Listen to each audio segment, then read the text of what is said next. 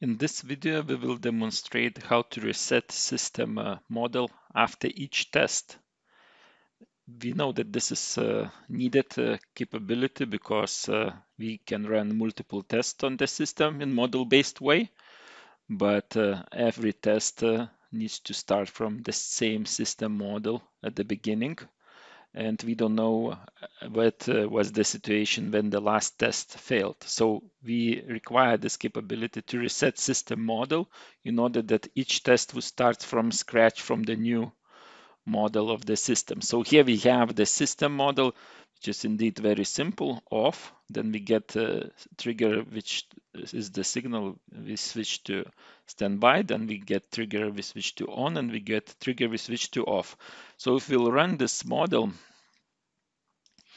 we see that uh, if we are executing step-by-step -step allowed triggers, like uh, now system standby and then system on, system response is uh, correct, right? But now if I will send some signal, like for example, system again on, we see that signal was ignored and removed because system was already in on state.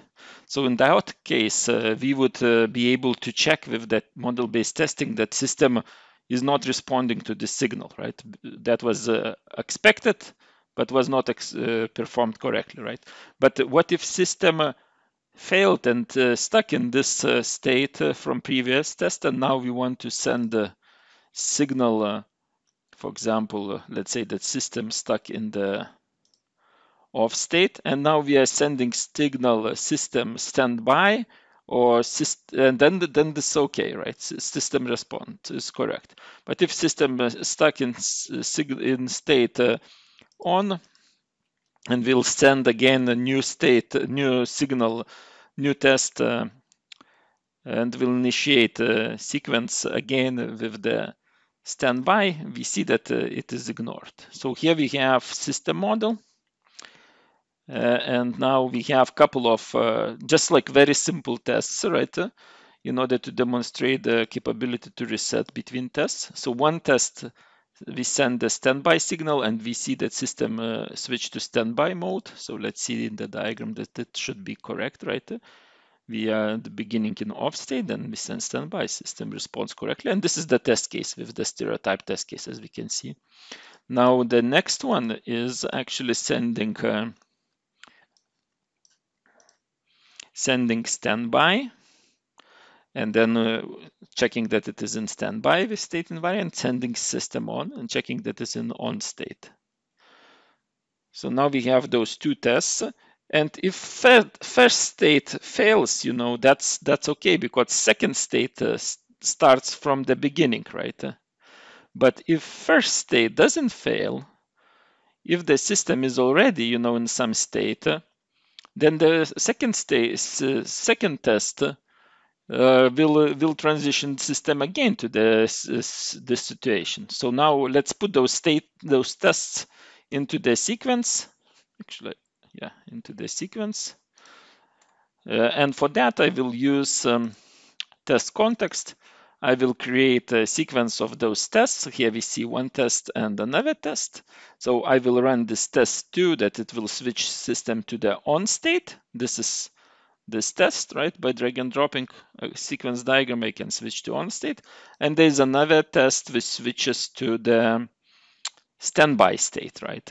But as you can see here in this situation, if we are in on state, the signal which will be standby will not be able to switch to the standby state. And the second test will fail, even if we would expect that each test, like let's say we have 10 of them or 100 of them, each would start from the initial system position. And in that case, it should should pass. So now if I will run this, uh, this uh, test, we see here, that second one failed. I can check that in instance table, I capture that here it failed, right? So now let's run and see what happens slowly. So we see that first uh, test is running, it's switching to on state, right?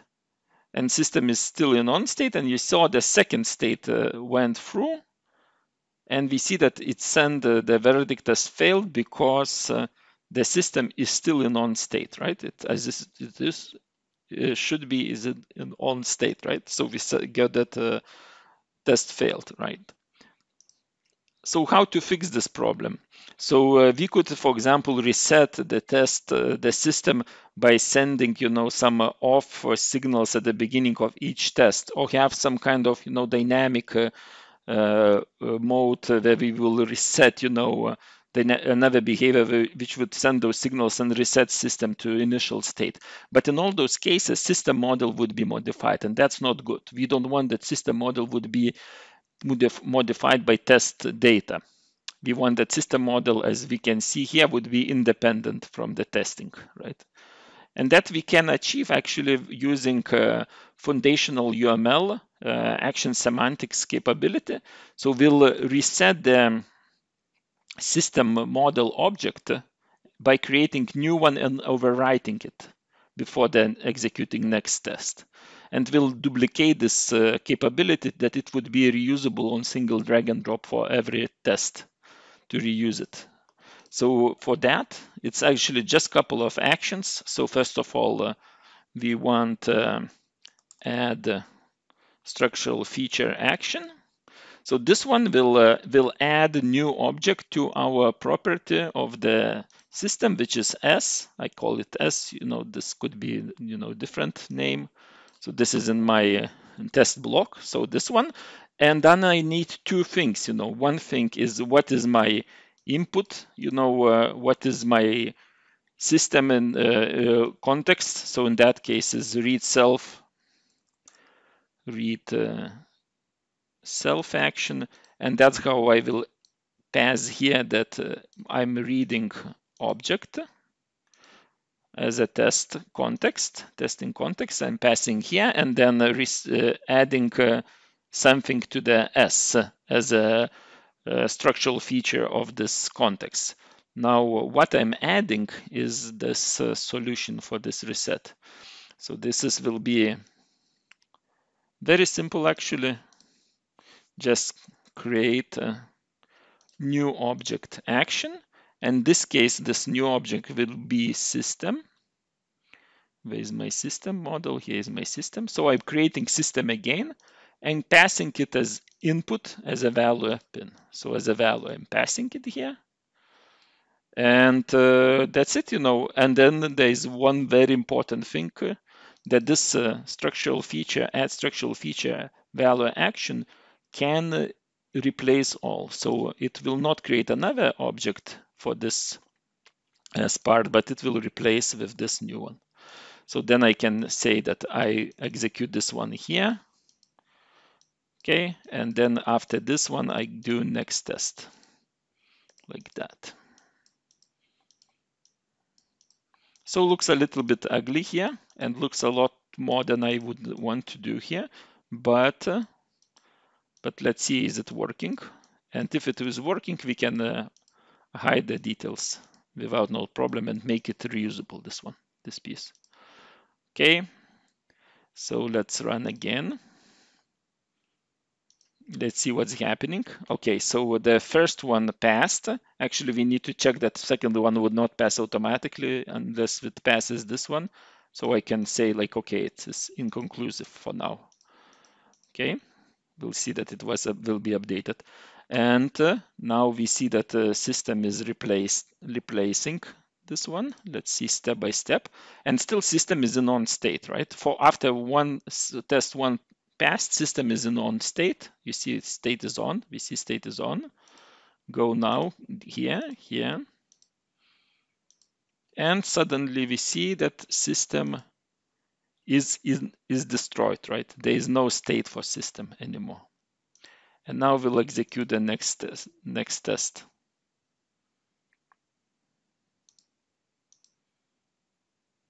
And then system testing passed and system was created and executed. So we'll, we'll see here results, actually here results, here passed, passed. So let's, let's repeat that uh, process let's put uh, some, uh, for example, uh, breakpoint here, add breakpoint and run simulation again, run, execute behavior. So we see that after this piece passed, system is in off state, no more on state. This animation is actually a little bit confusing. It's from previous object, but in case, it is in off state, as we can see here. And now if we'll continue, again, you know, I can switch this inconclusive, continue, and it passed here, pass, pass. So that's how we could set up a reset function, and then we can select whatever we want to export as new reusable behavior. Right click here, extract, refactor extract. Here, reset. Next, next, reset, finish. And that's my reset function, which I execute every after each step, after each test. And you see here that was exported. And now if I want to reuse it again for next test, I just go here, take my reset, drag it here, and that will be reused again after next and so on. So now we will have this working.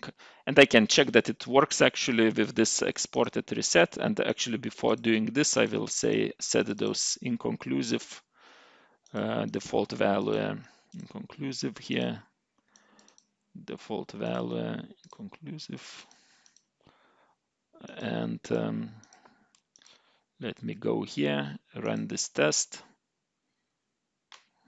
see passed we have breakpoint continue from the breakpoint passed so that was the solution which uh, actually is very commonly requested. And uh, next video will demonstrate how we build this model from scratch, including all model-based testing capabilities here to capture the data, to record those test cases as automatically generated activities for very, very simple model, as you can see here. But for this video, we just covered the capability for resetting between tests.